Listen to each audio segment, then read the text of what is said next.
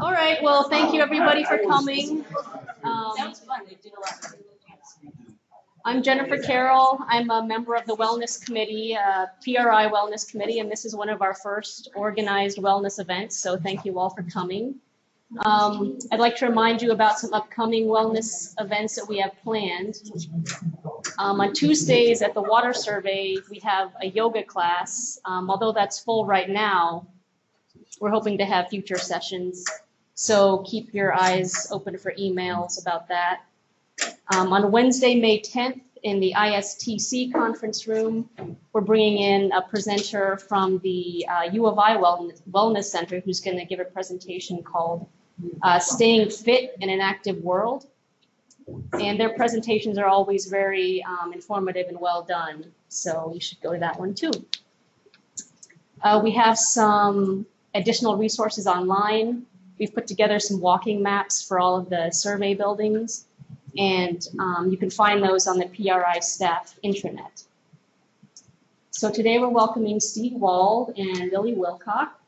And uh, some of you may know Steve from when he worked here for the Prairie Research Institute in the executive director's office.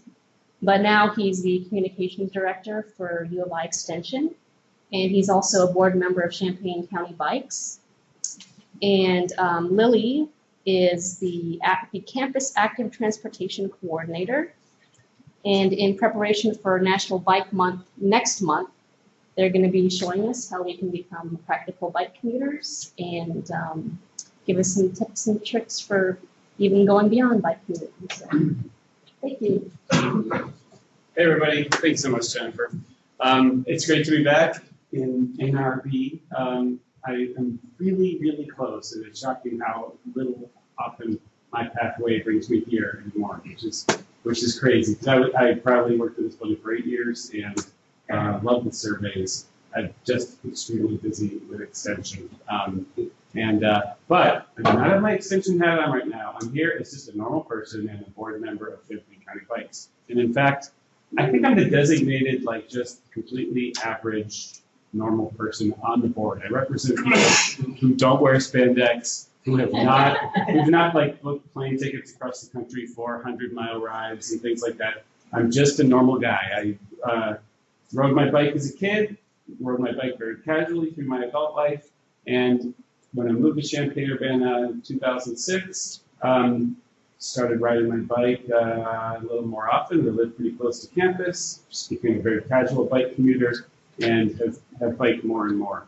And it's become a real sort of central aspect of my quality of life here. And so a part of what I want to talk about around bike commuting and exploring sort of beyond the towns on, on the bicycle is just to share some of like my sense of discovery on some of my sort of growth path along those ways and that you do not have to be an elite athlete to do it and you do not have to be you know like fully bearded and fully burly and wearing thousands of dollars of gear to do it um, very very casual very normal people can do it do it well and enjoy it that's really part of part of my message let me introduce Willie, uh, Lily Wilcock too um, so Lily is the campus Active Lily, what are you? transportation coordinator. Yeah. Uh, I work within facilities and services and transportation demand management. And so there's uh, policy, infrastructure, programming. A lot of that uh, falls into our campus facilities and services. And we try to do our best to make this as a bikeable campus as possible. And we do a lot of programming for that and do a lot of advocacy work for that too as well. And uh, transportation demand management is a small group, but we're also involved with the the campus bike center, which is right here in the garages behind this building. And so I'm here Yeah. almost every day, Yeah. but never in here, right or rarely, unless Margaret Chambers says there's a package. Nice. Um, Um, so it's it's awesome to talk to you guys. Uh, I completely agree. Bike commuting, if there were any serious barriers to entry for me, I would have never gotten going. As soon as I did get going, uh, eventually in various parts of my life, in different I've gone down the many rabbit holes for for cycling. Um, and I've worn the spandex, and I've worn the rain cape, and I've worn the the the fun different styles of biking. It's a very, very, very varied group of people that are out there biking. There's all sorts of different roles you can play with it. But commuting is one of the most practical ones, and it's also one of the most rewarding as far as getting to work and being a part of the community.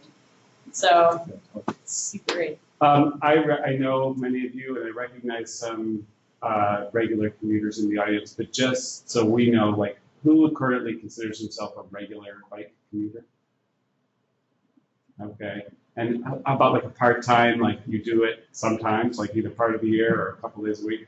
And is anyone here like not have a bike? Okay. Or like not been on a bike for a year? Okay. Okay, so I'm testing a couple edges there.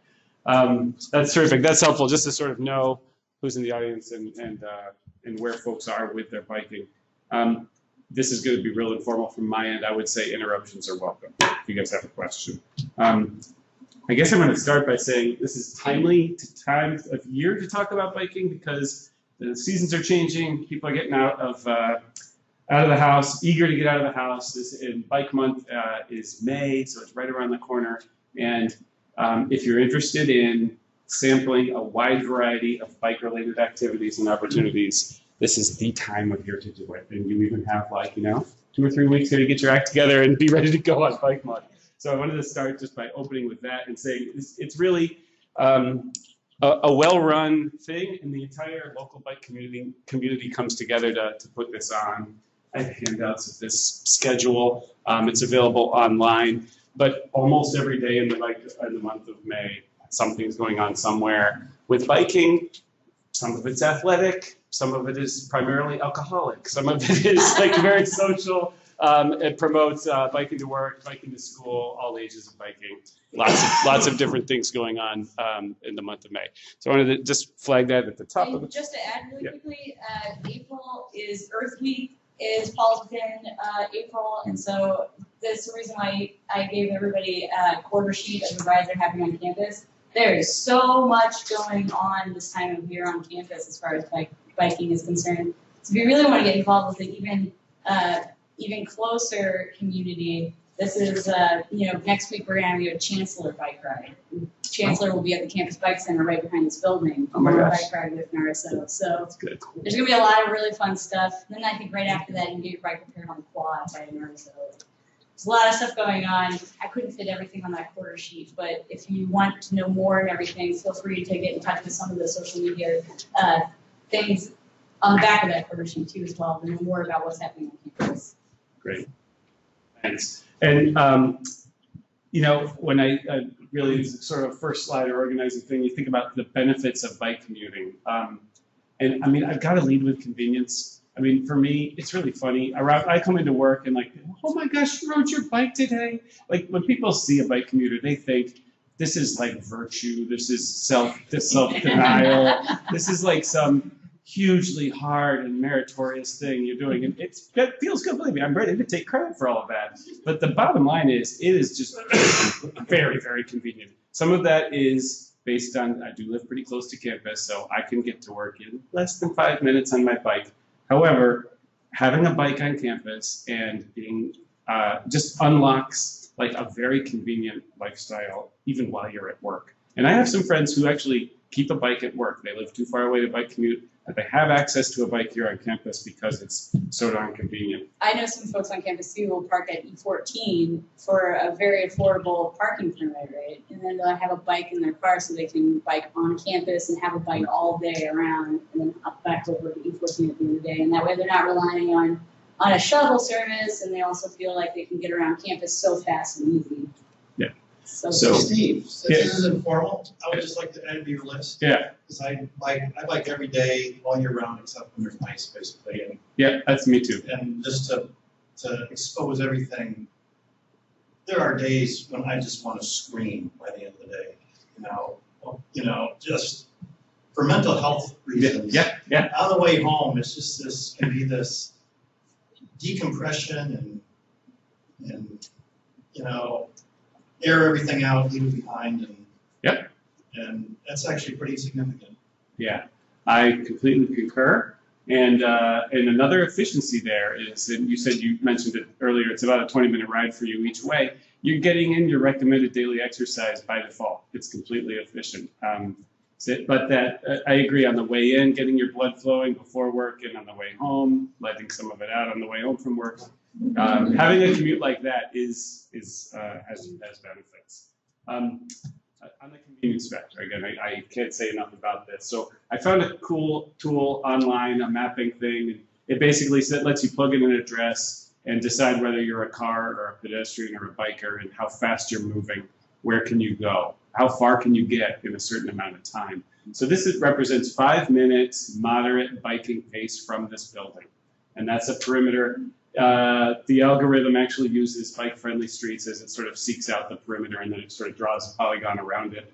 Um, and I gotta say, in this five-minute loop, you know, you can almost get out to the research park. You can certainly get up to Green Street, anywhere on campus. You can make any meeting.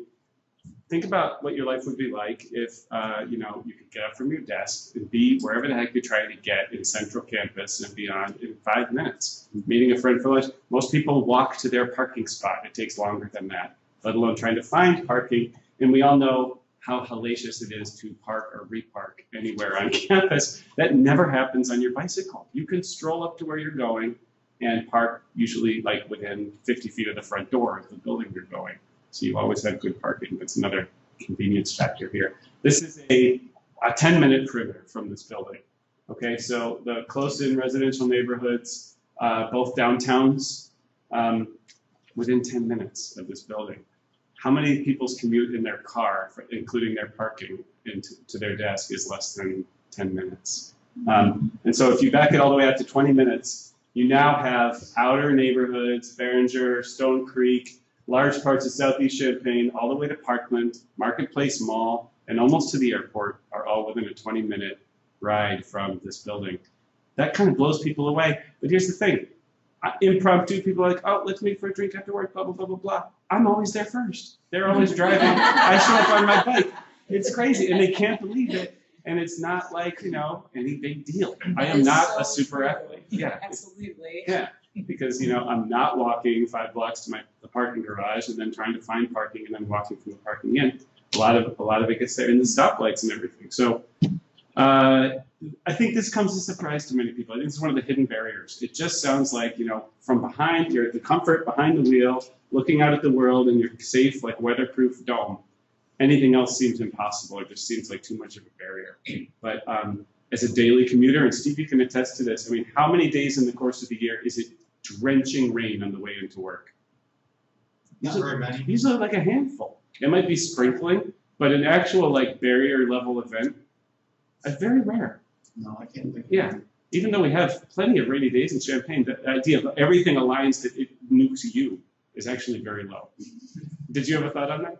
Yeah, if you just wait, there's usually a window. Yeah. Where you can go between and get here at eight o'clock-ish, or same for leaving, you get home, you can leave five o'clock-ish. Yeah. Through some window to Yeah, watch the radar. with your radar. eye on the radar, exactly. So um, again, as somebody who sort of does it every day, and not because I'm built of some, you know, super. It's just not that hard. The weather is not the very thing it might And be. there's plenty of communities in this country that have, hands down, have way worse weather than we do. You know, you go to Minnesota, you go to Seattle, you go to Oregon, you go to either rainy or blizzard condition places, and the bike commuting numbers are not as high as Urbana, Illinois, but they're a lot higher than the national uh, average for bike commuting. And that's really that's extraordinary because you we would think, oh well, it's just it's too hard. It's actually once you get going and you have the right gear, like it's so easy. Um, and so again, on the convenience front, um, you know, as U of employees, you have free access to MTD. MTD has bike rack. So if something happens and you know what, boom, I need another option home, you can jump on MTD to get home, including with your bike. Um, and in terms of cost, um, I know the wear and tear on our vehicles is almost nothing because my whole family bikes a lot now, and we have pretty low mileage. Um, I don't pay for parking on campus. On those terrible days that I do drive, I pay for hourly parking at a meter. You know, I've got the app on my phone. It's not too inconvenient at all. My parking spot, when I do that, is closer than everyone who has monthly parking. Um, so not everyone in the world can do that. Lily's probably wincing inside by me saying this, but I have found a successful strategy is to bike 80 to 90 percent of the time and to park worst days when I, when I don't have another choice. No, I'm, I only bike hundred percent of the time because I'm stubborn. Yeah, No, for yeah, sure, yeah. yeah. That's awesome. Um, and you know, these more ephemeral, poetic, this is my mental, these are my mental health categories, Steve. So the one is immersion. So, and that is just when you're out on your bike, there's something about not having like a shell around you. You see so many details and you just notice stuff. I mean, I notice people's gardens coming in. I notice the changing of the seasons. I see the conditions of the streets. And if I am bumping into people, I have a very easy option to like stop and talk to them. I feel more embedded in my community when I'm biking through it than when I'm driving through it because it's more of a human scale and uh, there's time to see stuff. And this is true in town, and the stuff you see is like related to like local public policy, architecture, you know, all kinds of cultural things. And when I'm out on the prairie, like the exposure to nature is also been this like a revelation to me to be biking out, out of town too. So the immersion thing is really big. The awareness of scale, and uh, that includes like horizontal scale because you're pedaling it, and vertical scale because even though it's flat here, you feel every change in vertical relief, and it's imperceptible to most people. We're in the flattest, you know, part of the United States, but on a bicycle, the gravity is you can feel it, and so you get. You, I feel like I have a better sense of of our topography, such as it is. And uh, the last thing, my wife really articulated this one when we started biking more for routine things, biking to the library, biking to farmers market. The it takes a part of your life, which is usually throwaway time, getting in the car, getting out of your car, and makes it like part of your experience. So the journey of getting somewhere is not just waiting for that to happen to get where you're going. The journey is part of the quality too. And this is, I think, a really key part of why biking has improved my quality of life and my enjoyment of living it, living here. Because you can bike so much of it, very practical, and yeah, makes it fun. Um, I have a picture, a couple pictures here about some of the stuff you see. This is these are out of town pictures, but um, they're an example of of what you can see, right? So we're biking by. We're probably going 14 miles an hour on gravel in the middle of Vermilion County, like miles from pavement. Holy cow! You see the size of that thing? You know, stop. We get up and it. And uh, you get to some really crazy, out of the way places here um, uh, when when you go explore off roads as well. Okay, so we already talked about weather um, and the idea of, you know, a lot of people say, hey, I can't be on my bike because I got to pick up my kid afterwards, or I've got to do X, I got to do Y, I got to do Z. We've solved most of those in our family. I just say they can be solvable, or sometimes they're not, and that's fine. Um, but I wanted to talk about like traffic and on-road techniques, and I'll, I'll turn to you. I have some, I have some things you could talk to if you want. Lily, I'm kind of sabotaging her, but since Lily does this for a living, I'm comfortable. Yeah, absolutely. Uh, I think one of the biggest barriers a lot of people have are that it's we have a core group of people in Champaign Urbana. We have about ten percent mode shares. So the people out of all of the trips that we're making, about ten percent of them are on bike. It's really good. It's really really good. You'd be like, wow, ten percent. That's so low. No, it's pretty darn good. What's the national average? I mean, because you were saying. Oh, it's like one point three percent Yeah, or it's really something like that. Oh, wow. Yeah, the suburbs, people drive. Whoa. Yeah, it's So, not mean, good. We're distorted up by all the students, so there's like large numbers of people who have alternative lifestyles from Yeah. typical American. How and our but our flatness, our compactness, Flatness, close. and those numbers and that centrality, all that goes in our favor. years of, of a really active community and groups doing things like bike month, having loads of events and making it as encouraging as possible. Yeah, so we have a great community for that, but then we've got this maybe sixty to seventy percent of people who are interested but concerned. And we talked a little bit about the barriers, but one of the biggest ones that I hear every day is, yeah, but I don't really, I don't really like the idea of me biking next to cars on a street. Yeah, I get it. They're really fast and they're really big and they definitely at 20 miles an hour you have 50-50 chance of surviving a crash. I get it totally. Um, these are real numbers that you can't you can't just turn down. The biggest thing though, and what a lot of people who do start bike bike commuting is you find out that there are some ways to position yourself, make yourself really visible. Visible and predictability is actually our key factors in making a really comfortable bike ride. So we talked a lot about routes, and you saw some of those red lines on there. That is half the battle.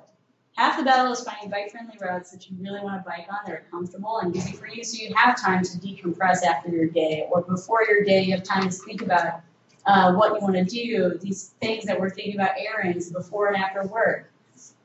You want to find a good route for that, and then the second thing you want to do is that all the roads that you are on, you want to be very, very predictable.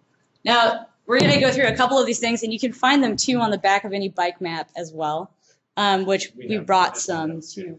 But these things, you'll also, if you're ever interested and you want to challenge yourself, there is a there is a website called bikesafetyquiz.com. Oh yeah, it's two slides later. Oh, it's just No problem. it's really fun. You can do it on your phone. It's really great. but anyways, uh, there are some things that we don't think about naturally as far as being visible. Uh, you think, oh, but being on a sidewalk is a lot safer, right? But actually, a lot of car drivers are not expecting a fast-moving vehicle to pop up on a sidewalk. That you're very, it's very unlikely that you're actually going to be seen when you come up to an intersection and you're on a sidewalk. We really discourage that if you're over 12 years old. You probably shouldn't be riding on a sidewalk you're probably going too fast to be very visible on a sidewalk, right? Um, your bike is bigger, you're a little bit faster, you've got grown-up legs. Being in traffic with those big scary cars can be much more visible. You're out there in the lane. Now, do you think being in dodging in between parked cars on the side of the road, do you think that's very visible? Absolutely not. But you'd think you're safer because you're actually getting closer to the side of the road, right? But actually, we find that car drivers are really not expecting you to pop out from the other side of that to the car, and you're having a really hard time also making sure that there are cars behind you. Now, you can do some couple equipment things. There are plenty of people, experienced bikers in this community that'll have a little mirror on the side. I do not have a mirror on the side. That would be the first thing I would lose when I went to the grocery store and I attached my helmet to the back of my backpack. It's going to be gone in five seconds. So what you have to do is I have to make sure that my neck is able to turn and I can see and hear behind me, right? Well, the best thing to do is make sure that you're out in the lane. Cars can see you and I can see cars. So these are some of the things that a lot of people, you think you'd want to ride right next to that curb, don't. Now, also dooring. Dooring doesn't happen very frequently, or at least it's not very reported in this community, but we have, especially on campus, a lot of parking on the side of roads. Don't ride your bicycle. Your natural inclination is again to be out as far away out of the way as you can for a car. And we encourage that too, as well, as well. But we want you really to get away from parked cars. Uh, the doors will fly, fly open. Very few people. It's just not within our culture that you can say uh, reliably that someone's going to check before they swing open their door They don't. a lot they really don't and sometimes they're looking at their phone and kicking their door open too. You gotta watch out for this. So don't even try it. Don't don't worry about it. Just make sure that you're if you have a lot of uh, like for instance right out here on peabody it's all parked up all along here. What you want to do is you want to make sure that you're in the middle of a very narrow road and cars can pass you when it's safe to pass you as if you're the size of a tractor right? Like Cars are just gonna have to wait until it's safe for you to pass because you have to be taking further in the lane to make sure you're away from car doors on the side. Yeah. We do have bike lanes in town that are in the door zone. Um, some of those, through some advocacy, actually have lines to show these crosshatches in the bike lane. And Yeah. Charlie Smyth, our council member, explained those to me. He said, we insisted they paint those because we're bikers and we know. That shows how far the door reaches into the bike lane. And, uh, because, yeah, but bike lanes, you know, indoor zones is actually a common mistake in Yeah. building bike facilities. So that, that last slide over there illustrates these doors in the bike lane. Just be aware of it. Now, you also too, you never have to be in a bike lane, um, just to make sure that you know that as a cyclist, you don't have to be, there's a lot of obstacles that can occur, like a car door. If you're too close, you can ride the line or you can be, take the lane. Um, I frequently will always take the lane if I'm ever gonna make a left turn. You always wanna make sure that you're not making a left turn while a car is right next to you going straight. That's terrifying and also weird and I might die. So, so those simple things. Right. So this Um, middle slide does show, just like a car, Yep. just act like a car. Um, get in the left turn lane to turn left. You do have an option of doing it like a pedestrian if you're more comfortable, or if just traffic forced you to do it, you can go straight and then you can realign and go left. But um, if traffic, there's a gap in traffic, you know, signal, take your lane. Feels a little weird when you do it. You know, you're small, you're out there with cars, but it works. And uh, it's kind of nice. You give yourself permission to act like a car. Cars generally let you do it, Do you and have then any suggestions for, um, like, most of the time I have no problem behaving like a car, but sometimes you get harassed by, like, people in cars who like honk at you or yell at you and just think that you shouldn't be on the road. That's actually really When you funny. behave like a car, like when you, you know, are in the middle of the lane or whatever, and they want to get by you, so are there, is there anything you can do? I mean, Well, don't slow down. oh yeah, Maybe don't like, don't don't, amp Don't, up don't road get like rage. me and have some bout of road rage or something like that. Uh, and just be like, well, I could go slower. Um, don't do that. Uh, no, actually, really, um, I, I can't say there is very much you can do for ignorance about traffic laws. My stands like it's getting a lot better. People are getting more educated. I know I'm part of a, a statewide version of Champaign County Bikes that goes into high schools and we talk to driver's ed classes.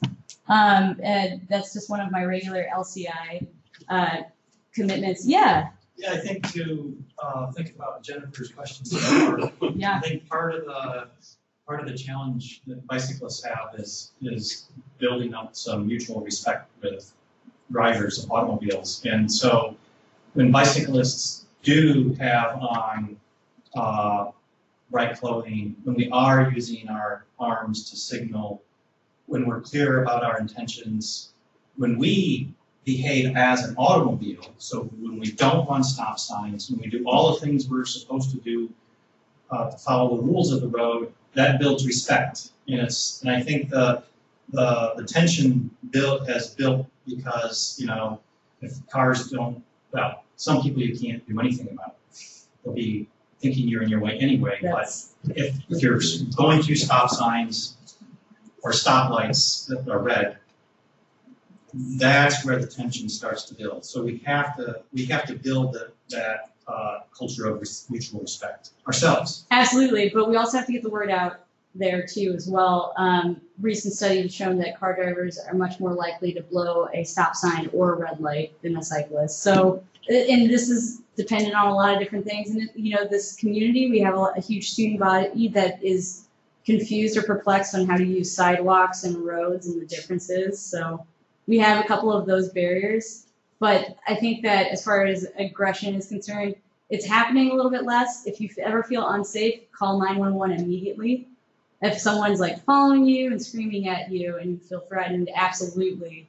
Um, make sure that you can call 911 and have your phone on you, but that's that can also escalate and try not to re- react whatsoever and complete and ignore the, the person.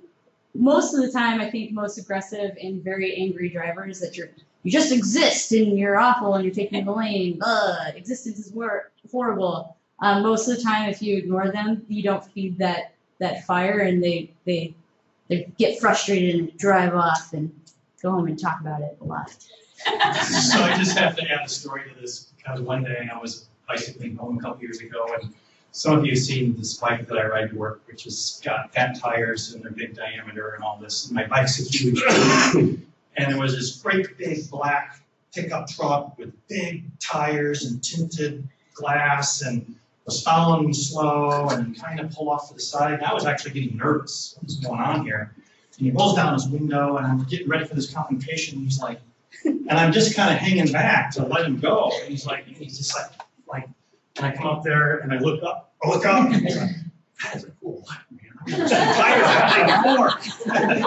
I just wanted. I I guess totally we had did a that. total culture class and it was just out to. Yeah, Yeah. double take. Sometimes I'll ride a folding bike or a cargo bike and be like, "Whoa!" It's like they just pulled up to scream at you, but that's awesome. Yeah, I gotta just, I say, you know, I, it took me a long time to shake off my youthful behavior on a bicycle because it, to me, like, uh, part of the freedom and efficiency of a bike was like these sort of victimless traffic crimes that let me just do stuff on my bike that was, that I became aware, I definitely became aware. And, um, you know, it may be a hard battle because there'll always be another biker who doesn't obey the rules, but, um, to me, I do have this like elaborate awareness of uh, a sense of etiquette and courtesy with drivers and like to, to never steal the right of way from a driver to always you know yield appropriately and to act right in front of cars when in when in view of cars there's my asterisk I will, if, it- if, it- if it's a deserted four-way stop sign, I will blow that stop sign. Uh, I'm not gonna say I won't, but I won't do it, I won't do it flagrantly in front of folks, because I'm very, very aware of what Steve said, which is, when you do that, it just adds fuel to the fire unnecessarily. Um, uh, So, That you will find that uh, as a cyclist, I always remember those that one car driver, and I think it's all car drivers. And as a car driver, you always remember that one bicyclist, and it's all bicyclists. So Yeah. uh, it goes both ways, very much so. Yeah, you can page through a couple slides here, I think, this is, yeah, it's the signals. Um, a little detail, when I was a kid, they taught me, you know, the right turn versus the left turn, but this is like really easy You to can remember. And it's really easy to interpret as well. You So can don't still have to do that, this. but this Yeah. looks like you're waving hi to someone. Yeah, and my kids Like, always get try that, and then I see this with the left hand, and it's like, they just, you know what, just point where you're gonna go. Before they did that, I started doing like this fist thing because I was like, no, I'm not. I'm, I'm gonna do something. I mean, how, how confusing would it be if you were in a car and you were trying to pull out of a parking lot and nobody would let you in because they thought that you were you didn't want to go anywhere? I do want to say one thing. Oh! This is on the back of the map that we're going to hand out to you, so you can go through this in detail to your heart's content. But I want to flag this because a lot of drivers don't understand this. When you're a driver and you're turning right, are you allowed to go into the bike lane? Like, what's the deal? Who has the right of way in the bike lane? Mm-hmm. So it's safe and appropriate for a car to merge right and go right into the bike lane if they're turning right. You don't have to somehow have this like awkward gap on your right when you're turning right, because that does invite this sort of conflict with potential traffic coming from behind you There's a and big passing you on your caveat. right. When you're on the bike, don't ever let that happen. Don't you know, Yeah. be really aware about getting trapped inside a right turning vehicle.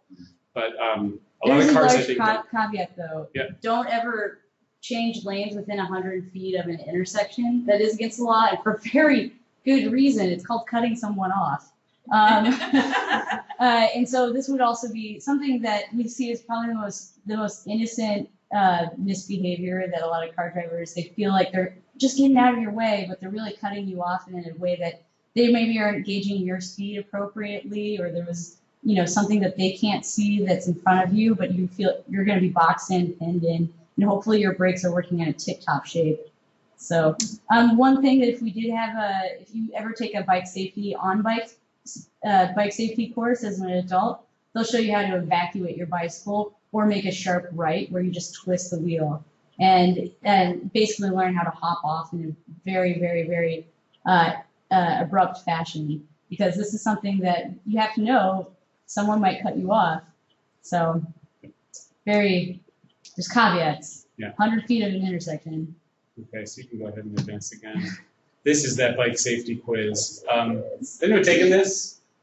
It's super good. Okay, so this is like a DMV driver's test. It's very detailed. It's very informative. You will be It's of surprised about the law around what you can and can't do as a biker, and Super all the details, like what do you do on a sidewalk, all that stuff is there. Um, and it's a, this is a great tool because, as you can see, they have stuff targeted. And incoming Illinois students get this now too as well. It's good. Yes. I wanted to ask a question about um, approaching intersections. Yeah. What do you do when it's like, you know, a little after five o'clock and you're going into, say, Urbana and there's four-way stop signs and everybody is bound and determined to get in front of you to get to that stop sign Oh, I know. and you end up behind a line of cars. Like, You you stay in that line of cars, honestly. Um, uh, like worst case scenario, if you are really far behind in this, if there's no one on the sidewalk, you can hop the sidewalk because in the city, uh, unless you're in downtown Urbana, downtown Champaign, or Green Street, you can ride on the sidewalk. Don't do that if there's someone walking their dog ever. Um, and that's only if you get really caught in that. What they're doing is yes, they're passing within 100 100 feet and they're trying to get into that that rush to go to nowhere as we as you know as a cyclist you're like well what are you really going for a red light Yeah. Um, there, there are Well, some and streets. Cyclists do it too, though. Yeah. I mean, they pile up at Absolutely. the, at the front of the, yeah they, they go around you on your so right. we don't uh, a lot of car drivers and a lot of cyclists are confused about how many people can fit in one lane that, that's tough that's very tough because you just think well i'm a lot smaller i mean um, and many times before there were ever bike lanes on the streets you know, it was kind of just common theory that you go on to the side, and a lot of car drivers were like, well, they're out of my way, whatever. um, these days, with a lot of bike lanes, you don't have to do that, and you shouldn't really split that lane. Uh, once you do do that, especially if you're sending that signal to car drivers, just imagine what kind of chaos that is. You can see that in some car cultures, like you see the south side of Chicago, I see it all the time, cars trying to split one lane. It's dreadful. It looks like someone's trying to play bumper cars with each other. Um, so stick behind the cars and wait your turn to go up. More than likely, uh, most stop signs, this town does not have really, really terrible traffic most of the time. And most of the time, that's the problem with these stop signs and red lights is that people have an inappropriate idea of how long they're going to have to wait behind that stop sign. Like maybe you had 10 seconds. So are we really in a rush? Are we really going to make bad choices for that extra 10 seconds? Probably shouldn't, especially on the way home. I think it probably happens more like at Pennsylvania. Mhm. Yeah. Well, and that's a side path on the to side race. Yeah, Yeah. Lincoln, right, yeah. Because you're gonna get stuck, everybody's gonna get stuck. Right, and Everybody There's a left lane stuck. and a straight lane, and there's not really much of a shoulder. And there's, it's, the light's too short. Yeah. It is too short, and also, I mean, I wish that you just maybe, you know, fifteen percent of those cars could be bicycles, could we could all go at Yeah. the same time. Um, but there is a, a eight foot wide sidewalk on the side of that too as well. I thought there's no sidewalk. At Pennsylvania and Lincoln? Well, no, other places like that. Oh, on Flor, oh, that's awful. Wait, where, on- where, where are you talking On the about? side to the president's house. Yeah. The president's house all has lights. There's some places. Oh, Orchard, you're thinking about. There's Orchard's a light, Florida. So that's a is- half block. I mean, race So is like a I said, stop if someone does do that to you, you shouldn't slow you down much. It really shouldn't. So just- Just The wait. intersection of Pennsylvania Just and wait. Lincoln, if I'm on Pennsylvania, you know, at the stoplight, I, I get in the- right in the middle of the, Yeah. the go-through lane, so that you can't, they can't. I purposely don't allow to get myself in a situation where I'm s- next to a car. Well, I'm assuming you're doing that too as well, because I thought what you're saying is that you're going, the car driver is hopping into oncoming Yeah. traffic to get around you, like Yeah. in a very dangerous fashion. And like I said, just wait in those cases. It's not gonna, it's not worth your time and your safety to get pinned against that car on the right side. Um, if that car driver was like, I'm not gonna use my turn signal today and I'm gonna make a right turn in front of you, and you didn't know that, you're gonna be pinned. And we don't want that, so just wait. It's a very un- dangerous behavior that if that happens to you, it's not worth fighting. It's not worth playing a leapfrog kind of game. It Yeah. seems like if one Good car does question. it, then the next car does it, and then the next car does it, and the next, and the next, and you know. Yeah. Man, if it piles up at Florida and Orchard like six cars back. Yeah. Our That's rush, awful. our rush minute can be be more. wicked. yeah. No, it really is. It's true. It's one of those things where I'm just like, how come we biking along next? Like, love. Um, one thing, yeah, uh, what I was assuming, and I think that's such a solid point, I shouldn't assume this, is take the lane and make sure that you're not encouraging someone to make that like that bad decision, you know, I think that as we've a all driver, it seen. makes me more comfortable when you take them. Absolutely. Mhm. Yeah, because then you you know you're not where you stand in the lane and where they stand in the lane. Right. Yeah, absolutely. Um, predictability. Does anyone have kids that they're biking with? Yes. Um, just go, I, I just want to say one thing quickly about kids. Advance, please. So the, this is like the, the balance bike revolution. So when I was a kid, like you got training wheels and five or six year olds learned how to ride big heavy bikes with training wheels. Um, and something happened in the last 10 or 15 years where people realized three year olds can ride bikes. This is a cheap, they have like really nice like Scandinavian wooden bikes and things you can, but I'll tell you the balance bike stage, which is a bike without pedals that a child can straddle and flat foot over the seat. Um, that stage lasts three three to four weeks, and then they will balance on two wheels. And if they have pedaled a tricycle, adding the pedals in. Um, so both of my boys learned how to ride a two wheeler when they were three, um, and have been riding since. Um, but this is an example. So we did not spend, we did not buy the Scandinavian wooden bike. We bought a cheap little bike and took the pedals off of it, and that was the three week balance bike stage, and I put the pedals back. Communities like this too, you can frequently call up Steve and say, "Hey, are you down with that bike?" Yeah. And then your friend's gonna call you up in a couple of weeks. Right. Um, All right, so you can advance a couple more. Oh, yeah, this is, a face mask is really good tool. No, I'm kidding. This is a, this is just one of my. Of July. one of my goofy kids, and um, yeah, I got a little indulgent with the photos. Go ahead, one more.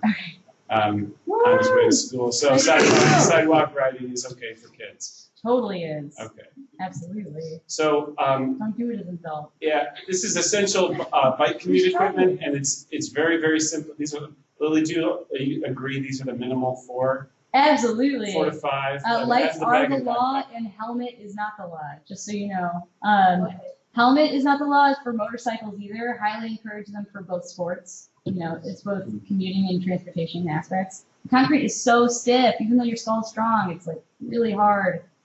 Yeah. Um, I've learned that the hard way many, many a time. Uh, lights are the law, and you have to have a rear light and a front light. Uh, it's actually a rear reflector, and if you do, we're we're in the midst right now of Illinois trying to change this law. Uh, you do have to have a rear reflector at all times. So if you have a rear light, you still have to have that. I don't think you're going to get pulled over for a ticket on that one at all. Um, what I would say is get a rear light over a rear reflector, 'Cause, uh, hands down. Yeah, every biker knows So that what you're worried about is what's coming from behind you. That's so what that's where you want to be visible. So everybody's like, yeah, we'll go with the right, go with the light. More you look like a roving disco ball, the better. Yeah, You know, exactly. people are like, "Whoa, what a dance party this bicyclist is doing!" That's because they saw you. See, it's awesome. So Um, protecting your head is very important. I can't emphasize that enough. Traffic is very slow around campus, and that's great for safety. But it, especially when you're going out on long rides, and you, uh, I personally feel like helmets are really, really great. Yeah. Um, theft protection. So if you have a really great lock, but you don't know how to use it, like it's not going to do you any good. And how many times have you been around campus and you saw just one wheel locked up to a bike rack? Uh, we just picked up a abandoned bike at Roger Adams Lab this morning. It had was missing a front wheel, Oh. so the person just abandoned it there. You have to lock up both your wheels and the frame to the bike rack, and there's a, a myriad of ways of doing it. And I think the cheapest and easiest way is you get a cable to go right through there. If you have quick release wheels, and those are the wheels that have a lever and makes it really easy for you to pop your wheel off for fixing the flat or putting it in your car. Um, if you have bolt-ons, the idea, the theft, it takes a little bit more time for someone to steal your wheel. So it's a little bit more theft resistant. It's certainly not perfect. A cable, you can wrap it around, it, slide it on your U-lock, and lock that to a, a U-loop rack. And your set bike is pretty set. up. Yeah. I want to say one thing about the bike itself. So does everyone in the room have a bicycle? Okay, yes. Um, then fine, you're basically set. But uh, one, one interesting, just about any bike can work for uh, bike commuting bike.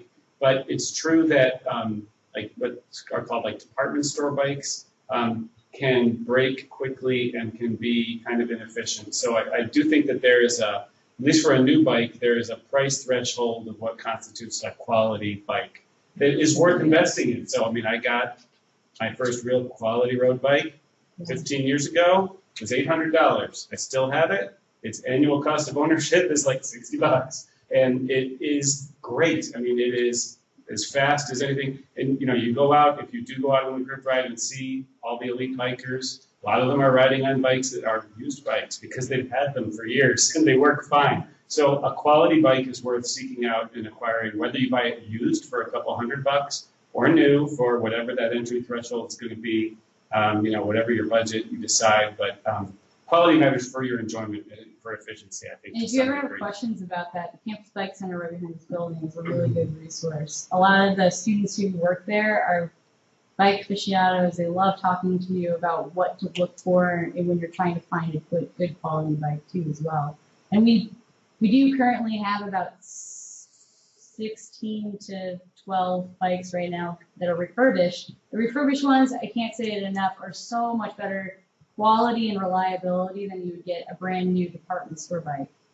So uh, we just recently collected 700 abandoned bikes on campus last year, and we donated them to Malawi, and they loved them, but they wouldn't take our department store full suspension mountain bikes. So, like, says a lot. They're they're just if they break, they're they're done. They're disposable. So And uh, as the designated normal, just a normal guy bike rider, I got to say another barrier to biking is a perception that hey, if you don't have the right gear, you don't have the right bike, you know, Oh. you're not gonna be accepted, or you can't do it, or this or that, and just gotta pop that bubble, if that's a barrier or a bubble for you at all. Um, there's all kinds of bikes and all kinds of aesthetic conditions out there that work, This That took worked me years well. to get a good rain jacket, Yeah.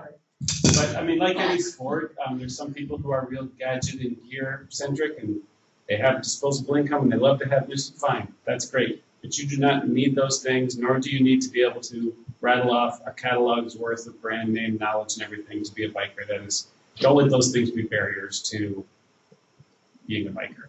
Yeah, and I think in, the, in this town, it's so accepted that there's a lot of people who would love, if you have questions, you know, there's a lot of people who would love to answer them for you.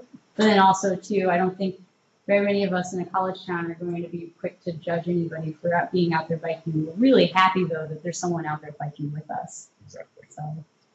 Okay, other than the clock, I think we gotta, we gotta push That, forward. So, yeah, Um, this is like that second level of essentials. So having a pump is really important, and uh, being able to lube your chain is also convenient.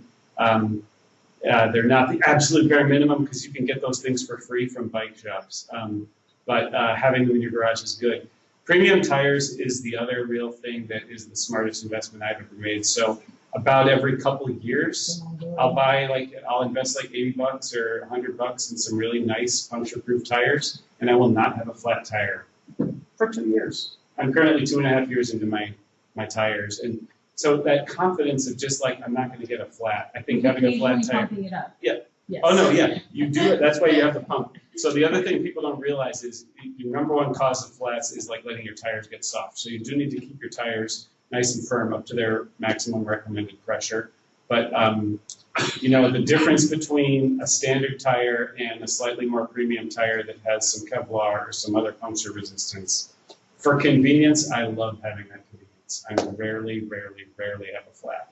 Yeah, and, and try to stay away for like it's hard sometimes seeing glass on the road, but if you do see it, avoid it. And that's when it's slow down, safe, wait till it's safe to pass, signal, and change lanes.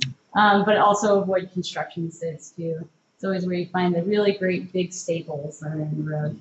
Um, premium tires, I think, is almost universal for a lot of experience. It's just uh, making sure that your bicycle is as reliable as it can be when you're trying to go to work or go someplace. Um, spare tube is always very helpful, even if you don't know how to fix a flat. That way, someone can help you. They'll pull over. A lot of cyclists will want to help you.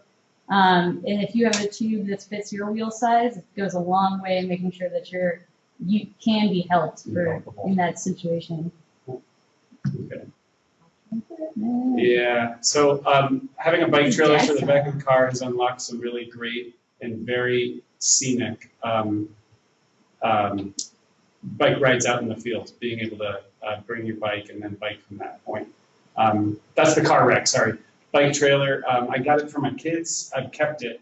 Um, I got it for 75 bucks, an open box special at Target. It is cheap, but it's not broken yet and it's 10 years old and it lets me go to Schnucks and get like six bags of groceries. So I really think that's fun, and I feel like a huge nerd when I do it, but it's convenient. I can put a cooler in there and a blanket, go to strawberry jam, and have be like a rolling picnic. It's it's really fun to do that kind of thing. So I like the bike trailer. Um, and then there's fancier ways to carry gear on your bike. And if you like gadgets, devices, tools, you know, there's an endless rabbit hole to go down. You will, with biking, I don't have any of that stuff. I don't have any special stuff. I will say that Some people love stuff, and there's stuff. there's so much stuff. There's so much stuff. Um, that I will say that uh, in many communities where it rains a lot, they would say there's never a bad day to ride your bike, which is the wrong year. Um, but having a rain jacket and a pair of rain pants is not a bad idea if you're biking in snow or in rain. You just don't want to get wet. You just you want to get home and you want to be dry. So I always like to carry this time of year. Carry I carry a, a really lightweight, packable little rain jacket on days where I totally know that there's a good chance that I'm going to get rained on, I'll bring rain pants. I just don't want to get wet. You don't have to as a cyclist, you know. Uh, I don't mind my hair gets wet, whatever. Oh my God! Uh, there's my there's my seventy-five dollars. So That's a friend. That's not my wife Rachel. Um, but uh, yeah, there's the there's the rocking seventy-five dollar bike trailer. Orchard down? And my, yeah, rocking Wow. seat, my Birkenstocks. I have no high tech gear. No, not even closed-toed shoes. Careful. We were on our way to Fourth of July. Um, so the next little section is like, where do you bike? So this is a cup, this looks crazy. This is the map we are gonna hand out to you. This does lay out in some good detail where bike routes are, and it is a useful tool to refer to. It also has a ton of educational content. We've already uh, shown some of that to you. Go ahead and advance, Lily. Yeah, Um, just one quick oh, thing, oh, what yeah. it does besides Google Maps is it also gives you those red dots at intersections. If you're just trying to figure out your new route, is say you move to a new place or you've never biked to work, uh, these red dots are really good information just to avoid an uncomfortable situation or uncomfortable places to be at on your bicycle. Something that you can bike, but it's not recommended by anybody on, uh, who is helping put together these local routes. Very well thought out map for sure. But here's the Google Maps, and if you had, didn't know this, because you may not have had occasion to use it, there is this bike icon at the top, so you can have it route you between two points, and you can choose bicy- bicycling as your mode of transportation. And it will route you on good biking routes and give you some options and tell you about how long you can expect it to take. So that's useful, and it's obviously on your phone as well as on your desktop computer. Um, there's a 20 minute perimeter. You can, you can go ahead. Um, so what I wanted to say here was just in in the last little bit is this was my gateway drug to uh, longer rides on the prairie. Um, so monthly on the full moon, there are rides that leave from Meadowbrook Park um, and go to Sidney Dairy Barn, and uh, they very accessible. It's very easy. It's a straightforward ride. It's not completely easy. You will feel like you get some exercise, especially if you're new to it. But it's 11 miles each way, and um, to me, this was the thing that sort of got me through the barrier of riding out of town and out onto the landscape. Um, so that's my then seven-year-old son. He can do it round trip, um, uh, and we really enjoy it. So if you uh, if you advance this, a few pictures of what that ride is like. Once you're out of town, the roads are empty. I mean, it is very common not to see a car um, for like an hour in each direction. It takes about an hour to get there and an hour back. Um, the sun goes down, people, my God, you're out there, you know, in the dark. Um, it's really easy. The moon comes up. Um, d- depending on the month of the year, you Right get your fireflies. Um, you can see cars coming for miles. If you want to, you can like walk into the grass and give the car as much space as you want. Of course, you have lights with you too. Um, but it's it's just deserted out there. It's an incredible experience. Um, okay, and then, yeah, I've got a few more uh, on those prairie rides. So this is ancient. This is here just to make you laugh because this is from like 1971. Although these roads are, are still pretty good, but go ahead and advance. It's not obviously it's 80s. It's 80s. Right. It's got to be 80s. so 80s. This is like a really cool, still viable, but old school website with lots of street knowledge about longer prairie rides. Go ahead. They have links into all these different loops, and you can go to them and then have the Google Map instructions of, of that loop. Um, go ahead. Um, IDOT actually publishes county maps showing the bike rating of the entire grid of the county county roads. Um, and so this is a link into that, and I can share these links with you. Go ahead. Um, and then a couple phone apps that um, riders like to use, Strava or Ride with GPS are a couple good ones. Um, everybody, this is, this is in the gadget thing, but these are free apps and it'll give you data about your bike ride. It's kind of fun. You need gadgets to talk to. Exactly. Um, so I think this might be it. Do I have any Riding more here? without GPS. Right. Exactly.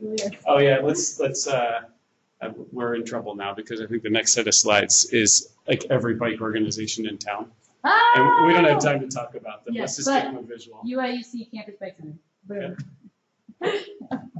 This is a great group to volunteer with, and if you ever work with a group to, that needs volunteer hours, send in that way. Is that group that I was talking about, with, that does the bike safety quiz. Statewide org. Prairie Cycle Club is a local club that does rides like every day of the week. In season, they're about to launch their ride season, and this website is really really good. Having a really fun one in Resources. town on May twentieth called the CU Food Cruise. Yep. Should be fun. Lots of food trucks involved. So Mountain Biking Club based out of My Kickapoo. heroes. And uh, a couple good bike shops here. Champaign Cycle has been around forever and is amazing. Neutral Cycle is close to campus and also great young kids. Here's Lily's website. It's getting better, I promise, eventually. Okay. Did it for a year now, though. I think you should just advance through these. It, basically, it's like every organization, the, yeah, it's, has a little piece of. them. Brand new, start opening this fall, there's gonna be a trail. Yep. Yay! Trails are awesome, they bring in huge tourist dollars, they're really, really fun. It's uh, a One of the- crowd. One of the things we do in Champaign County Bikes is interface with all these organizations on their bike stuff. We've, we've advocated for this bike plans and things like that, and that bike-friendly community designation is, is one of the real pride points of what we've done. Um, MTD is a great partner, and that's it. Will be putting this into a like PDF form just so that we can have those local resources. Yeah. Yeah. that'd be awesome. And all these really cool pictures. What's that? We're recording. They're Oh, awesome. we're recording it, never mind, that's good enough.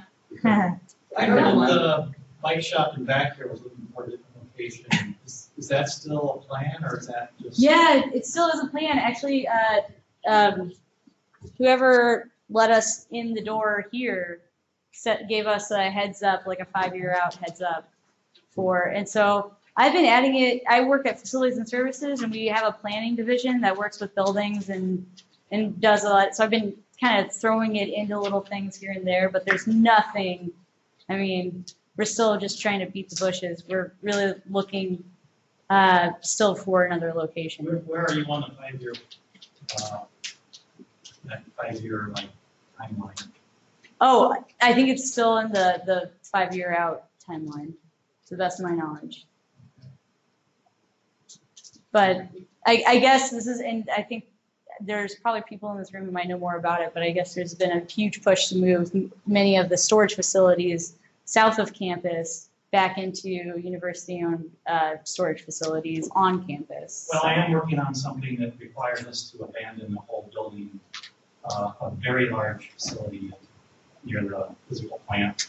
Yeah, And a couple of, one of the main things we're gonna try to do didn't work out, and we're actually looking to bring them back and reusing our, our garage facility back here for Yeah. that whole outfit. And so, that's another reason I asked the question, yeah. and, and just, Certainly. Uh, in a, in like a, in a perfect world, I would have a wealthy alum, alum from Silicon Valley who would say like, here's $25 million for a velodrome and a campus bike center. Nice. Yeah. That hasn't happened yet. But if you know anybody, send them my way. Just saying.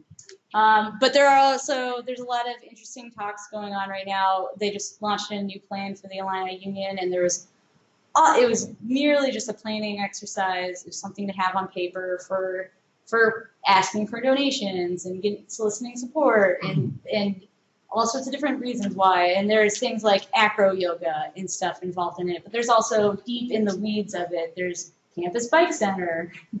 So there's all sorts of opportunities. Um, I last night I was at the campus master planning uh, input form, and it was very very interesting. But there are a lot of uh, opportunities for new spaces that they're looking at.